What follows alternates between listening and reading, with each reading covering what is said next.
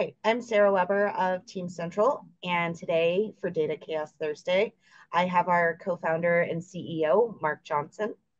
Marc, thank you for joining us. Thanks for having me.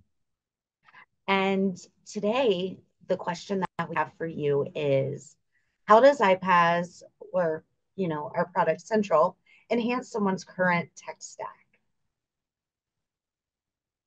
Yeah, that's that's a that's a good question. Um, I, I think the the best way to answer that is to to kind of first define what we do and what we do well and kind of what we're not. Um, and so when I think about our product and the reason that we built it, um, you know, it's it's all around uh, data management and data synchronization. So re- real time um, data synchronization across systems. And the way in which we do that is is with an architecture that we call event driven solutions or event driven design.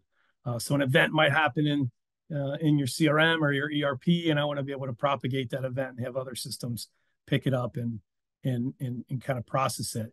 Um, so that's that's kind of what we what we do well, um, and we and we do it in a in a completely uh, no code fashion. Um, the, the, the the the I think the main point around this is, you know, there you, you have to really uh, is a, is an architect or or someone who's responsible for IT resources kind of pick the best tool for the job. Um, and so what our tool doesn't do is replace a lot of the other really important products that are needed um, in in, in our customers' tool belts. So things like RPA and uh, more batch-driven ETL um, products, um, products that do more human-centered business process and workflow, um, and even pr- products like like Power Automate um, that that I think have absolutely a, a fit in kind of the world um, that that that we're in. So you know, I think again, the, the the the, important thing is to to really pick the best tool for for the job.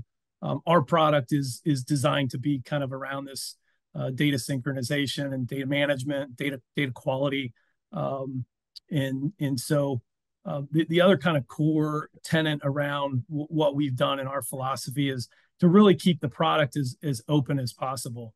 Um, and so there's there's core cloud services that run our infrastructure making those services accessible to the client, uh, having different deployment models, um, being as cloud agnostic as possible. Uh, these are all kind of the, the, fundamental tenants that we're continuing to to kind of work towards. Um, so that again, you can you use our product where it makes sense to to use it, um, and and in places where it needs to support other products, uh, kind of fits in uh, nicely. So that's that's how we we think about the roadmap, think about the product, and and kind of where it fits um, in, into the landscape of other uh, automation and, and data data driven tools. Thank you very much for that. Kind of sounds like if you have an ERP, you probably have a use case where I, iPaaS can fit in and enhance your business and your automation capabilities. So we'd like to thank you for joining us for Data Chaos Thursday. If you guys have questions that you would like to ask Team Central please reach out to me at sarah.weber at teamcentral.ai or on LinkedIn, and we will get your questions answered on a Data Chaos Thursday. Thank you.